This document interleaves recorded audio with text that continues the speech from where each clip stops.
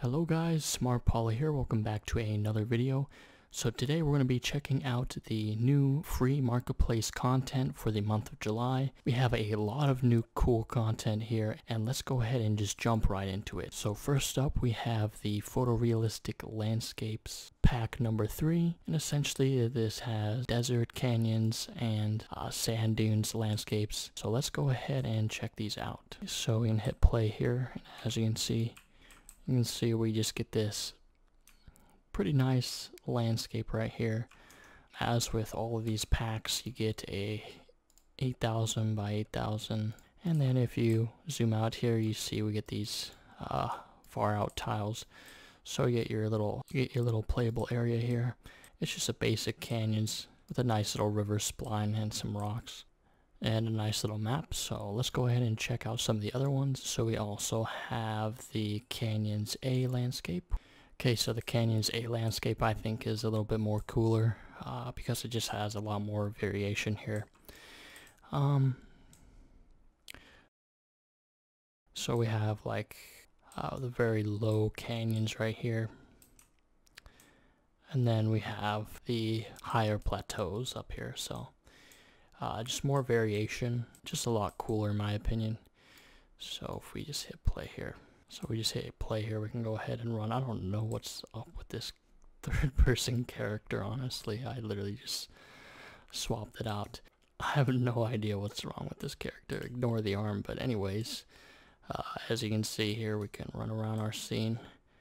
Uh, looks like the rocks aren't aren't the best uh, type of rock models. Maybe they're just, you know, far away, meant to be more uh, far away and the ground rocks as well uh, for some reason maybe they're scaled up too high I wouldn't say the uh, rocks that they have here aren't the best I mean you can also swap them out with uh, some of the Quixel rocks yeah I mean overall I like this and yeah let's go ahead and check out the other one so we have two Afghan ones and then a desert landscape. So let's go ahead and check out Afghan A. Okay, so if we zoom out here, it's more of a rugged mountainous terrain. Um, that's like basically like a desert. So if we play from here, it's just really kind of just an empty uh, mountain range with a little bit of shrubs here and there. So this would be a pretty cool level to use, you know, if you're making a first-person shooter of sorts. You can also, I don't know, make some sort of outpost here and do whatever you want. Just overall a pretty uh, decent sized landscape. And I've got to say, they do quite a nice job of fading these background um, meshes into the landscape so it looks like it's part of the level. So yeah, and let's go ahead and check out the second Afghan map. We have, this one has just a lot more uh, detail in terms of kind of like this erosion effect right here. So just a lot more different variation here in your uh, Afghan landscape. Okay, so lastly we have this desert landscape. This is what it looks like zoomed out. And then zoomed right in, as you can see, there is an enormous amount of detail here with the landscape material and they did a real good job on this one and you can see all the sand dunes and you can see the uh, distant mountains in the back and I can show you what it looks like here if I just click play with a third person character so yeah as for the third person character for scale you can see I mean there's just a lot of room here kind of reminds me of uh, Battlefield 1 maps. I think Battlefield 4, the uh, Silk Road expansion. Um, just lots of play area. And a very nice thing about these maps is that, I mean, it's already set up here. You got your distance meshes in the back here, so really you can just take the level and just migrate it right into your game. Use it as your playable map. Okay, so that pretty much concludes the photorealistic landscape pack. Let's go ahead and check out our next item here. Alright, so next up we have the Meadow environment. Okay, so if I zoom out here, you can see that we have a really small landscape here with some nice hill meshes for the distance. Just hit play from here, we can see that we have a nice little scene here, a nice little dirt road pathway that leads to a little lake or a little pond. And it's just a really nice cute landscape showing off all the different foliage uh, textures and these little these little rock assets and stuff. As you can see, there's a lot of options here for trees as well. So yeah, just a lot of cool details like this little pile of logs and then over here, um, just lots and lots of foliage. And we have a little campsite, I think, over here. Not sure what this is.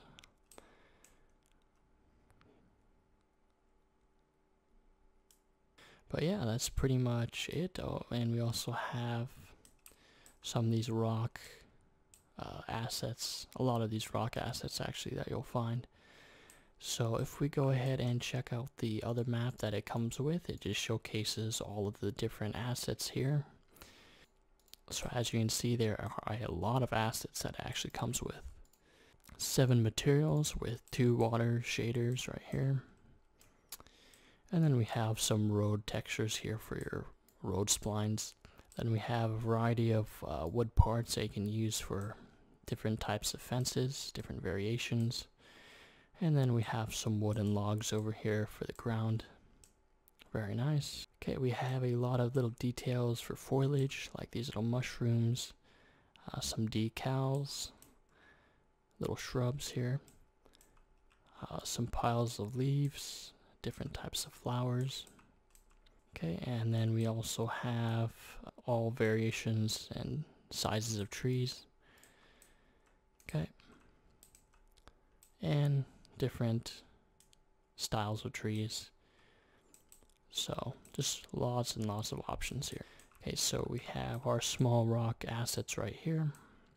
Very nice. And I believe they're all just the same rock assets. It's just a different uh, texture variations on them. So, just a lot of options to mix and match here.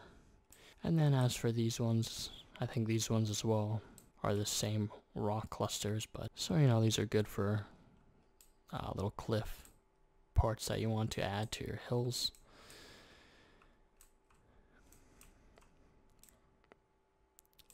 Okay, and then over here. And then these ones over here would be good for, you know, a redwoods type forest.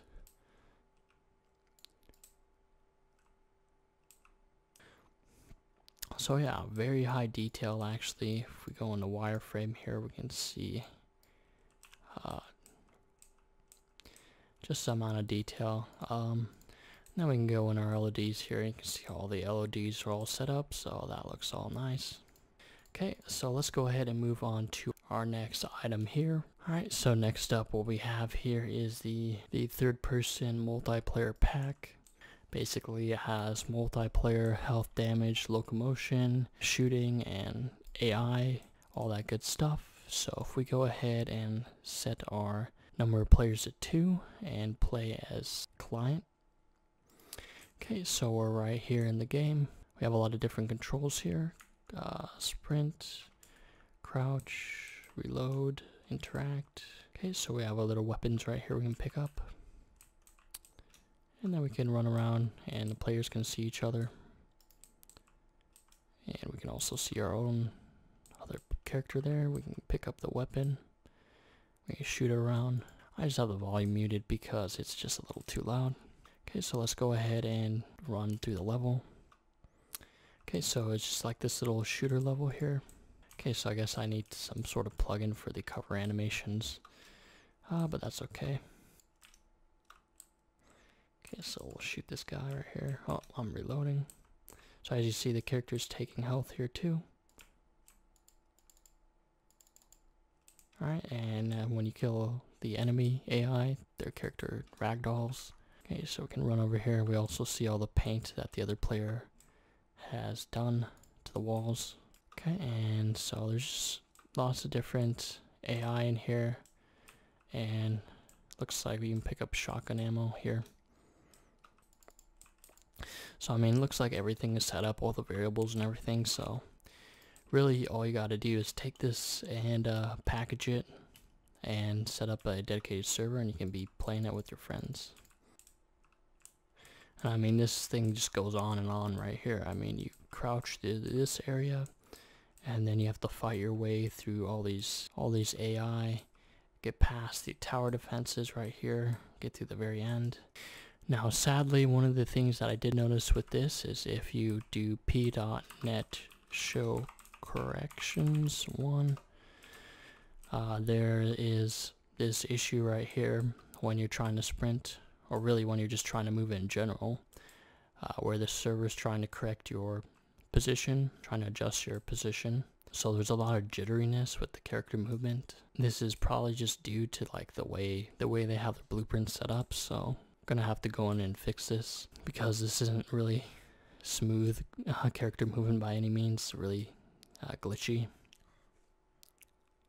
We have the character blueprint here and everything is nice and neat, all commented out and all tidied up so you guys can check everything out and how they did everything in blueprints. And of course, you can always customize it to your liking and all that good stuff. So guys, it's a pretty good template here that you can use if you want to get started with multiplayer. So definitely go ahead and pick this one up. Alright, so next up we have here Smart ArchViz Interior Pack 1. Basically, it comes with all the assets that you see here and this nice little apartment demo. So if we go ahead and click play, it's going to show us a map of the apartment. And we can move around. Click M to hide the map. And we can look around through the level here. Mainly this is used for architectural design, but I mean, some of these assets here, you can basically just use it for your game. So they come with a lot of different things we can use. I mean, and they're really high quality as well. So just a lot of modern architectural assets that you can use. And so if we actually go into uh, the bedroom over here,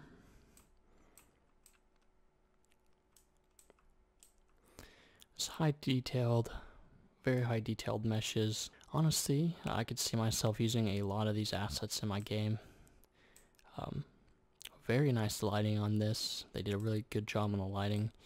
So if we go in the bathroom here too, you can see uh, just the amount of detail on the lighting here is amazing. I mean, it just looks realistic at this point. Even if you look at the mirrors here, they even have like a reflection too. So yeah, I mean, this pretty much has it all right here. But yeah, I mean, it has a ton of assets that it comes with. And I can just show you here in the other level it comes with, the asset showcase. Okay, so first off, you can see here, comes with the Amazon Alexa. Always gotta have one of those. A lot of kitchenware. Okay, uh, we have a TV here, flat screen TV. Uh, a fridge, some more kitchen stuff. Some chairs here. And then over here we have a few options here for our couches. Some shelving. Looks like a wall section here with a oven. Then we have some uh, TV stands, drawers, uh, little candles here, some lamps, some speakers, coffee table, and some more couches over here. They're really high detail as you can see. Um, then we got some paintings. Some modern art here. Okay, we got some more couches over here, little or little chairs here. Okay, we got some rugs under here as well. So it looks like we got a bed, a rug that's kind of messy, another rug. Then we got a bathtub here, a toilet, and your sinks and bathroom stuff. Okay, and then some clothes in the closet. And some dressers. Just a lot of different assets that you guys can mess around with and play with. As you can see, they're pretty high poly. Um, as for LODs, I don't know if they come with any LODs at all.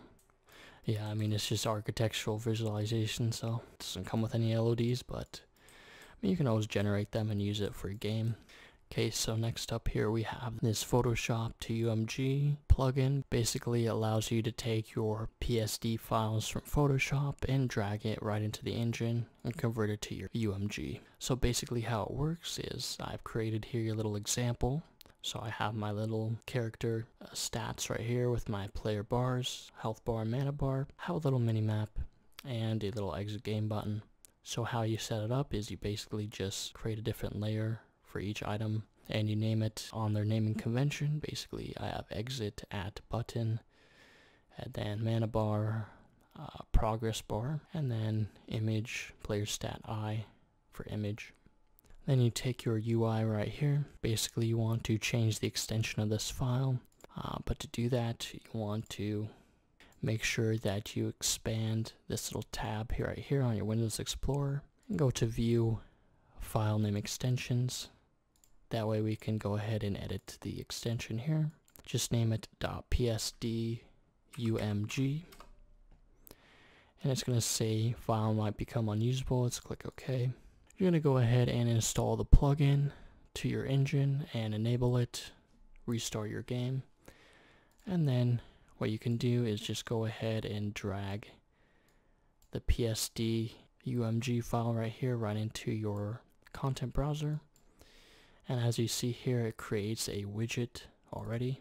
So if we open that up you're going to see everything is basically created here for you. So you expand the canvas panel. So we have the background image uh, player stats right here as an image minimap and then our health and mana bars our progress bars. So right here we can change the percentage right here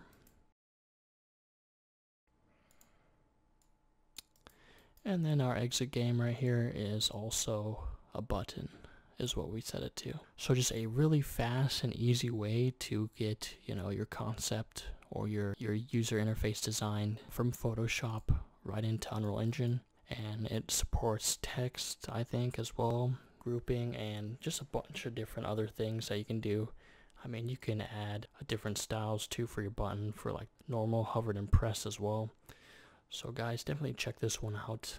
I feel like this uh, plugin is definitely underrated anyway, so yeah. Alright, so lastly I wanted to show off this stylized character kit for uh, Casual Male 01. Basically, this isn't one of the free marketplace items for the month, but it's a permanently free free item that will be on the Epic Game Launcher uh, permanently free, so you guys don't really have to get it this month. You can pick it up next month or whatever. So if we just hit play here, you're going to see you're going to get this stylized character that you can run around. Then you have a lot of different options for customization. So you can see over here we have the torsos, and it's all modular. So you can pick and swap, choose what you want. Okay, and then we have, you know, the different jackets here different hairstyles as well as your different glasses, uh, facial hair, and all that stuff. And then you have the base uh, mesh of the character, all fully modular as well. Okay, so yeah, it's I mean it's a pretty good detailed mesh here, and I really like the stylization. Kind of looks like Fortnite, like a Fortnite character or something. One thing I wish they would have done is actually made the shoes modular, or I guess the shoes are pretty much the same, but you can change just the color colorization on the shoes. So yeah, guys, if you want a fully modular, customizable character here, go ahead and pick this up. It's uh, permanently free on the marketplace, and it's just called the Stylized Character Kit, so go ahead and check it out. So yeah, I think that's pretty much going to be it for this video, guys. Hope you guys enjoyed the video. Uh, make sure you guys go ahead and hop over to the marketplace and get these assets before they are gone. And yeah, that's pretty much going to be it, and I'll see you guys in the next one.